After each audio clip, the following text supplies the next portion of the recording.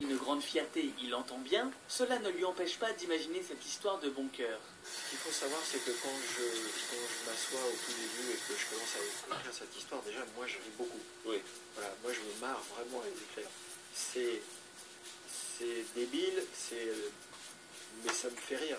Il y a une partie de moi qui est très sérieuse et qui aime bien les films sérieux ou les films d'action. Puis il y a une partie de moi qui aime, qui aime comédies euh, légères. C'est tout d'abord avec ces comédies légères que Luc va découvrir sa poule aux œufs d'or. En déléguant la direction à des réalisateurs, de préférence sur lesquels il a l'ascendant pour préserver un contrôle absolu, il peut à la fois travailler sur ses propres films et tester ses idées secondaires au box-office. Contre toute attente, Taxi cartonne. Plus tard, Le Transporteur et Taken, d'autres scripts de Besson, en feront tout autant. Le scénariste semble connaître la recette du succès, toutefois, selon lui, elle n'est pas aussi aisée à cuisiner qu'on peut bien le croire. C'est toujours Bonsoir à toutes et à tous. Le cinéma français sur le 2.0.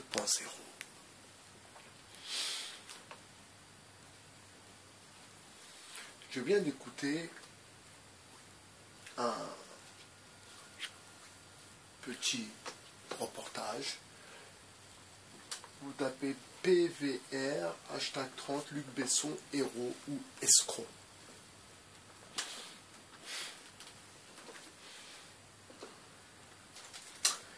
Alors, dans la critique du cinéma français, y a-t-il une critique à émettre?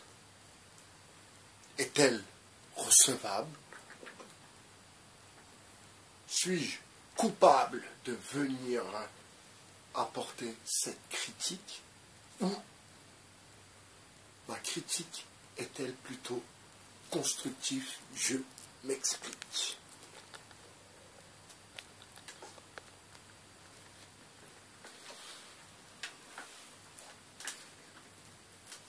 Alors, dans les années 90 déjà, nous étions, ils étaient plutôt, donc le milieu du cinéma français, à se poser des questions sur le manque de créativité, sur le manque de scénaristes, le manque de réalisateurs. C'est vrai, cet après-midi, je suis sorti, j'ai regardé euh, les affiches publicitaires dans les transports en commun, et à chaque fois, je suis, euh, comment dire, je suis euh, attristé de voir cette soupe, cette soupe populaire qu'on vous vend, les histoires à l'ancienne, reprises, des trucs vraiment, on sent que il y a un problème dans le cinéma français. Il y a un manque de créativité, il y a un manque de scénaristes. Quand je vous dis, pour ne parler que de moi, que je travaille actuellement sur euh, un roman, mais ah, j'ai travaillé sur un roman sur un essai, euh, c'est compliqué pour moi.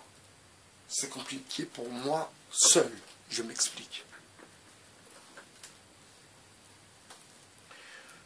J'ai un roman euh, qui est vraiment d'actualité, qui euh, pourrait pas en dire plus pour le moment, mais c'est vrai, quand je pense à l'inventivité, la, création dont euh, je suis capable, euh, c'est vrai que ce scénario pourrait éventuellement intéresser euh, un réalisateur. Maintenant, vous savez, mais je pense que cela va changer car le cinéma français est en manque de scénaristes.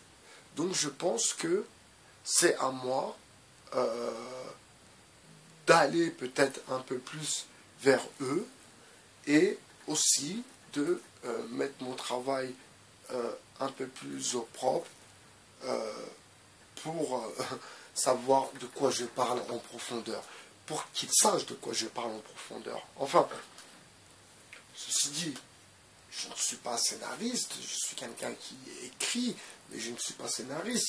Cela ne m'a pas empêché d'écrire un scénario, d'écrire des dialogues, de travailler sur des dialogues, de travailler sur un scénario, alors que je ne suis pas de ce milieu-là du tout. Mais c'est un milieu qui m'intéresse parce que euh, c'est un peu euh, l'ombre d'un personnage quelque part. Vous savez, quelqu'un qui, euh, qui écrit, par exemple, qui écrit des séries ou qui écrit euh, des films, ben, eh bien, c'est pas pas lui euh, qu'on voit. Lui, c'est pas pas pas pas son problème à lui qu'on le voie. Vous comprenez?